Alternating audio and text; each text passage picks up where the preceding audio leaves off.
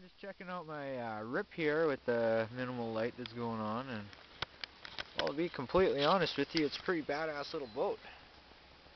Uh, it's got everything I need on it. So uh,